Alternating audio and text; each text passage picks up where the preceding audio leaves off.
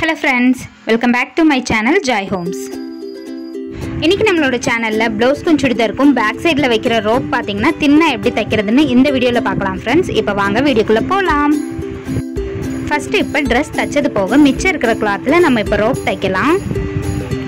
Rope தைக்கிறதுக்கு எடுக்கிற piece பார்த்தீங்கன்னா கிராஸில் போட்டு கட் பண்ணுங்கள் ஸ்ட்ரைட் பீஸில் கட் பண்ணிடாதீங்க இதோட அகலம் பார்த்தீங்கன்னா ஒரு ஸ்கேல் அளவுக்கு இந்த மாதிரி மார்க் பண்ணிக்கோங்க ஃப்ரெண்ட்ஸ் மினிமம் ஒரு இன்ச் ஒன்றரை இன்ச் அகலத்தில் நீங்கள் கட் பண்ணி எடுத்துக்கலாம். அதே மாதிரி ரோப்புக்கு எடுக்கிற பீஸ் பார்த்தீங்கன்னா ஒரே லாங் பீஸில் இருக்கணும். ஒட்டு கொடுத்து தைச்சோன்னா நம்மளுக்கு டர்ன் பண்ணுறதுக்கு கஷ்டமாக இருக்கும். இப்போ நம்ம கட் பண்ணி எடுத்தாச்சு.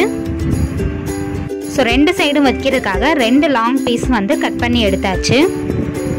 அதுக்கப்புறம் இது பார்த்தீங்கன்னா நம்மளோட ப்ளவுஸில் பைப்பிங் வைக்கிறதுக்கு இந்த த்ரெட்டை யூஸ் பண்ணுவோம். பைப்பிங் பார்த்தீங்கன்னா இந்த த்ரெட்டு யூஸ் பண்ணி வைக்கிறப்ப ரொம்ப தின்னாக நம்ம பைப்பிங் வச்சிடலாம் இப்போ இந்த த்ரெட்டை யூஸ் பண்ணி நம்ம ரோப்பும் தின்னாக ரெடி பண்ண போகிறோம்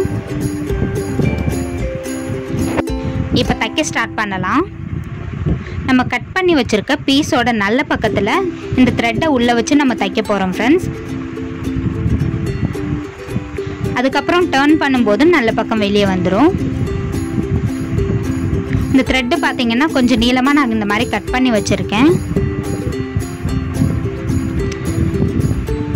கிளாத்தோட மேலே இப்போ கொஞ்சமாக கட் பண்ணி பீஸை வந்து ஸ்ட்ரைட்டாக வச்சுக்கலாம். அதுக்கப்புறம் இந்த த்ரெட்டை இந்த மாதிரி உள்ளே வச்சு மடிச்சிருங்க.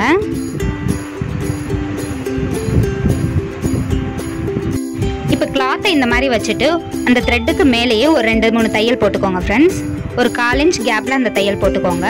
அதுக்கப்புறம் ஊசியை திருப்பி விட்டுட்டு இந்த த்ரெட்டுக்கு பக்கத்திலேயே தையல் போட்டுட்டே வாங்க.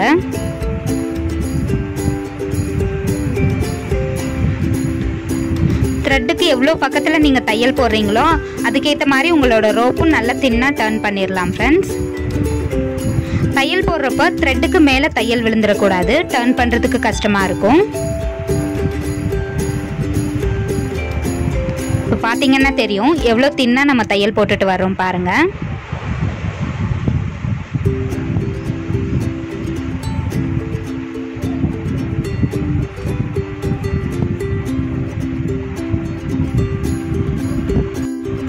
இப்போ நம்ம ஃபுல்லாக தைச்சு முடிச்சாச்சு.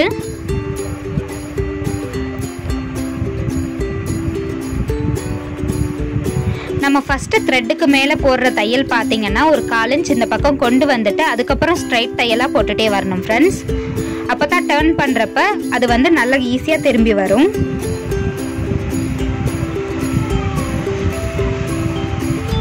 அதே மாதிரி மேலே வந்து இந்த மாதிரி லைட்டாக கட் பண்ணி விட்டுக்கோங்க.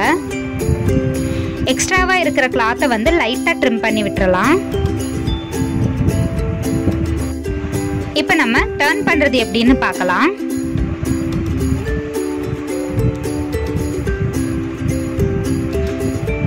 கிராஸ் கட் பண்ணனால கிளாத் பாருங்க இந்த மாதிரி தான் சுருண்டு நிற்கும் இப்போ இந்த கயிறை இந்த மாதிரி மெதுவாக பிடிச்சி இழுத்துட்டு இந்த கிளாத்தை இந்த மாதிரி திருப்பிட்டே வாங்க.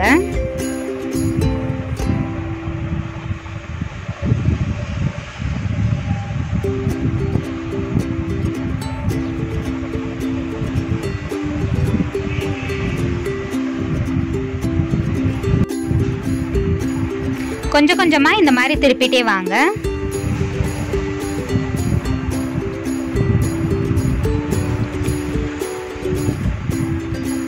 இந்த ரோப் பார்த்தீங்கன்னா என்னோட சில்க் சாரீ லாங் கவுனுக்கு தான் நான் வச்சு தைக்க போகிறேன் friends so silk sari long gown எப்படி தைக்கணுன்ற வீடியோ ஏற்கனவே நம்மளோட சேனலில் அப்லோட் பண்ணியிருக்கேன். டிஸ்கிரிப்ஷனில் அதோட லிங்க் கொடுக்குறேன் ஃப்ரெண்ட்ஸ் பாருங்கள் தையலுக்கு அப்புறம் எக்ஸ்ட்ராவாக இந்த மாதிரி கிளாத் விடுறனால டேர்ன் பண்ணுறப்ப நம்மளுக்கு நல்ல திக்கான ரோப்பாக நம்மளுக்கு கிடைக்கும். ஸோ எண்டு வரைக்கும் இதே மாதிரி திருப்பி விட்டு டர்ன் பண்ணிடுங்க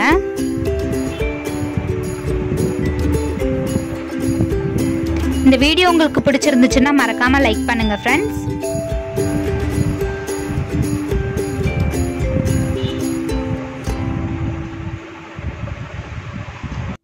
இப்போ நம்ம ஃபுல்லாக டர்ன் பண்ணி எடுத்தாச்சு. இந்த ரோப் பாருங்கள் ஃப்ரெண்ட்ஸ் எவ்வளோ தின்னாக இருக்குன்னு.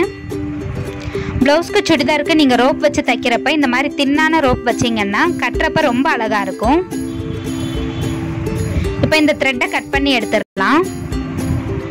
நீங்கள் ஊசி வச்சு திருப்பி விடுறதை விட இந்த த்ரெட் வச்சு தச்சு திருப்பி விடுறது ரொம்ப ஈஸியாக இருக்கும் ஃப்ரெண்ட்ஸ் இதே மாதிரியே இன்னொரு ரோப்பும் ரெடி பண்ணிடுங்க இதோட எண்டில் நீங்கள் ஹேங்கிங் வைக்கணும்னா வச்சுக்கலாம் ஃப்ரெண்ட்ஸ் இல்லைன்னா இந்த மாதிரி கிளாத்லேயே தச்சு போட்டுக்கலாம். மறுபடியும் இன்னொரு வீடியோவில் உங்களை மீட் பண்ணுறேன் ஃப்ரெண்ட்ஸ் அது வரைக்கும் பாய்